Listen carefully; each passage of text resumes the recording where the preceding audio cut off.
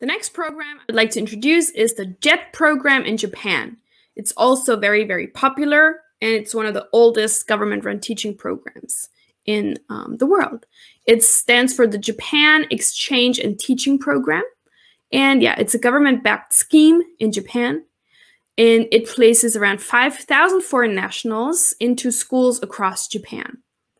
Um, what's interesting about the JET program is that there are three types of positions that you can apply for in this program. So there's basically the assistant language teacher, the ALT, which is pretty much 80% of all those apply that they end up being ALTs.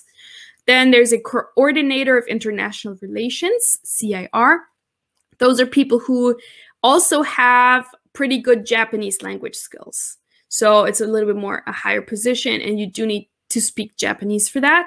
And then there's the sports exchange exchange advisor, SEA. So that's um, yeah, basically not English, not English teaching, but sports. So you would be a sports coach of some sort.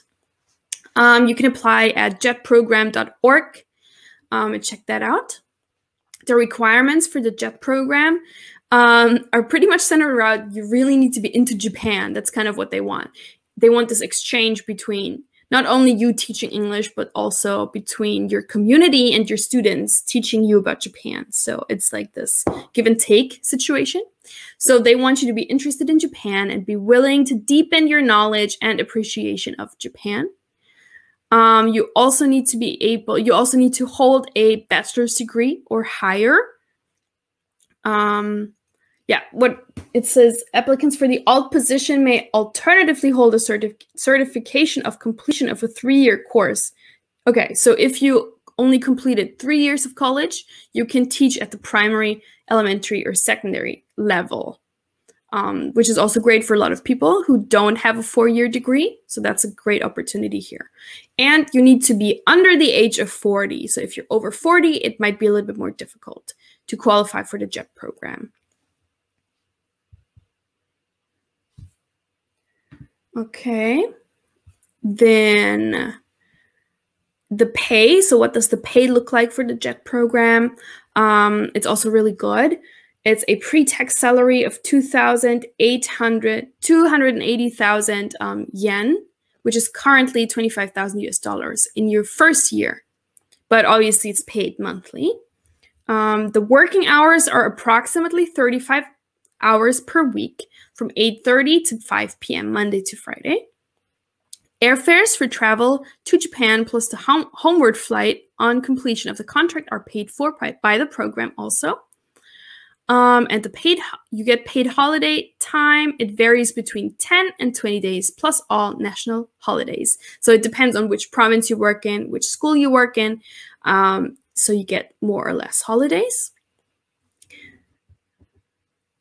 Uh, video says, why is that age limit? um, yeah, I have no idea. You know, I don't know why that age limit is. Um, I know that there's like the stereotype, especially in Asian countries and schools, that you know, young, uh, younger teachers are more energetic. They have more energy. They teach kids better, I guess, because they have more energy. But of course, it's not the case. And um, so I don't know why that is the age limit, but it just is. Um, yeah. I think that's it about the JET program. So I recommend applying at jetprogram.org. They're also currently hiring.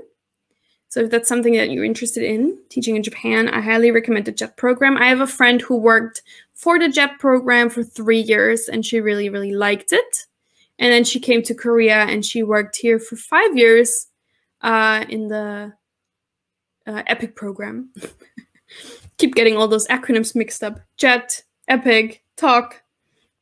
But yeah. so. Thanks so much for watching. We are ITTT, the leading provider for TEFL and TESOL training courses. If you like this video, please subscribe by clicking the button down here and click on any of the videos here on the left for more interesting teaching tips for getting certified to teach English abroad and online.